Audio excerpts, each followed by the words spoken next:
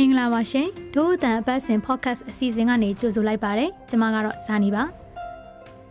လွန်ခဲ့တဲ့ဆယ်စုနှစ်ပေါင်းများစွာကကရင်အမျိုးသားအစည်းအရုံးနဲ့မြန်မာတပ်မတော်တို့အကြားတိုက်ခိုက်မှုတွေစတင်ခဲ့တဲ့အထိတ်အမှတ်ဖြစ်နှစ်90မြောက်ကရင်တော်လှန်ရေးနေ့ကိုဇန်နဝါရီလ31ရက်နေ့က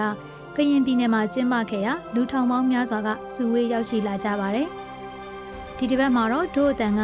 KNU ကခေါင်းဆောင်တွေကရင်လူမျိုးတွေနဲ့တွေ့ဆုံပြီး သူတို့ပြည်နယ်ငင်းချမ်းရေးအတွက်ဘာတွေမျှော်လင့်ထားသလဲဆိုတဲ့အကြောင်းကိုမေးမြန်းထားပါတယ်။ဒီဆောင်မကို Oliver Slow ကရေးသားထားတာဖြစ်ပြီးဇာနီကဆက်လက်တင်ဆက်ပေးမှာဖြစ်ပါတယ်။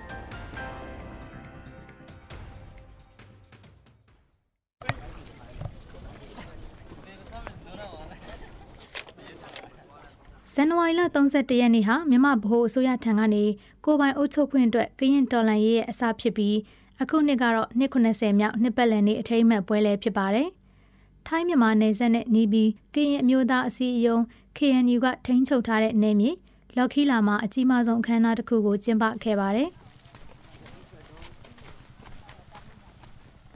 အခမ်းအနားကိုကရင်လူမျိုးထောင်ပေါင်းများစွာကတက်ရောက်ခဲ့ကြပြီးအများအပြားကတော့ကရင်ရိုးရာဝစ်စုံတွေကိုဝစ်ဆင်က KNU နဲ့အစိုးရအရာရှိတွေရဲ့မိန့်ခွန်းတွေကိုနားထောင်ခဲ့ပြီး စီရေးပြပွဲတွေကိုလည်းကြည့်ရှုခဲ့ကြပါတယ်။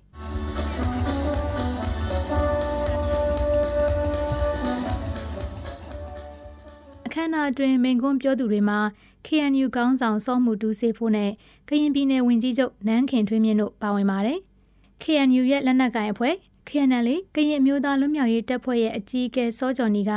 မကြသေးခင်နှစ်များအတွင်းတုံဆိုင်နေတဲ့ငင်းချမ်းရေးလုပ်ငန်းစဉ်အပေါ်စိတ်ရှည်ကြဖို့တက်ရောက်လာသူတွေကိုတိုက်တွန်းပြောကြားခဲ့ပါတယ်။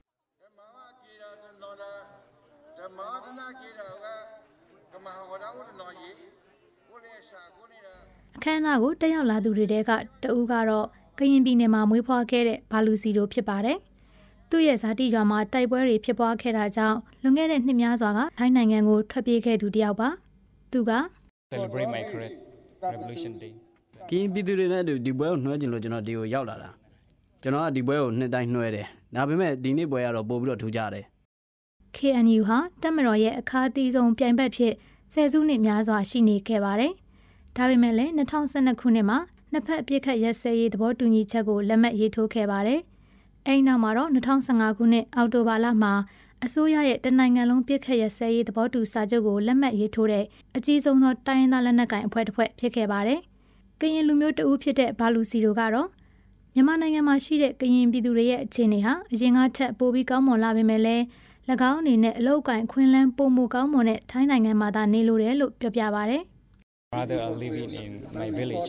I, i'm coming alone in uh, Thailand အခုချိန်ကအရင်ကတည်းဆိုင်အခြေအနေတွေပိုကောင်းနေပြီ ကျွန်တော်မေယာကရင်ပြည်နယ်ကရွာလေးတစ်ခုမှနေတာတခါလေအမေစီကိုလဲသွားတယ်ဗမာစစ်သားတွေရွာကိုမလာတော့တာပိုကောင်းပါတယ်ကျွန်တော်ကလေးဘွားတုန်းကတော့ဗမာစစ်သားတွေကရွာကိုလာပြီးလူတွေအများကြီးတတ်တယ်နောက်ဆိုကျွန်တော်တို့တောထဲကိုထွက်ပြေးရတယ်အကြိမ်တွေအများကြီးထွက်ပြေးခဲ့ရဘူးတဲ့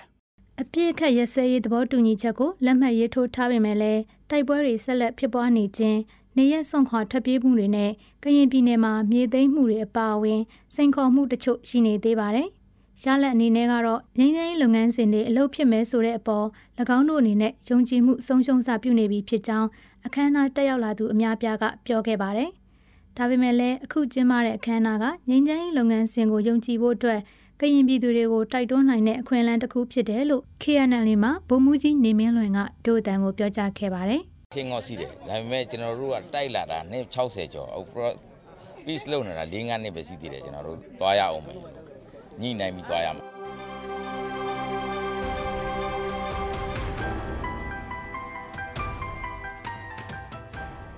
အခုတင်ဆက်ပေးခဲ့တဲ့အစီအစဉ်ကိုနားဆင်ခဲ့ရလို့ကျင်းနေမယ်လို့ဒိုတန်ဖွဲ့သားတွေကမျှော်လင့်မိပါတယ်။ဒီအစီအစဉ်ကိုတင်ဆက်ပေးခဲ့တာကတော့ Oliver Slow နဲ့ဇာနီပါ။အပတ်စဉ်ဗုဒ္ဓဟူးနေ့တိုင်းတင်ဆက်ပေးနေတဲ့ဒိုတန်တန်လွှင့်အစီအစဉ်ကို Frontier မြန်မာရဲ့ website နဲ့ Facebook စာမျက်နှာတွေအပြင်ဒိုအတန်ရဲ့ Facebook စာမျက်နှာ SoundCloud YouTube iTunes တို့ကနေလည်းဝင်ရောက်နားဆင်နိုင်မှာဖြစ်ပြီးသောတာရှင်တွေရဲ့အမြင်တွေကိုလည်းပါဝင်ရေးသားနိုင်ပါတယ်။ဒီစီစဉ်ကိုမြန်မာနိုင်ငံဆိုင်ရာနယ်သာလန်တန်ယုံကပံ့ပိုးကူညီထားပြီး Frontier မြန်မာနဲ့ Foundation Hirondale တို့ကပူးပေါင်းတင်ဆက်တာဖြစ်ပါတယ်။နောက်တစ်ပတ်တွေမှာလည်းစောင့်မျှော်နားဆင်ကြဖို့ဖိတ်ခေါ်ချင်ပါတယ်။တို့အတန်စီစဉ်ကိုနားဆင်ပေးတဲ့အတွက်ကျေးဇူးထူးတင်ရှိပါတယ်။မင်္ဂလာရှိသောနေ့လေးဖြစ်ပါစေရှင်။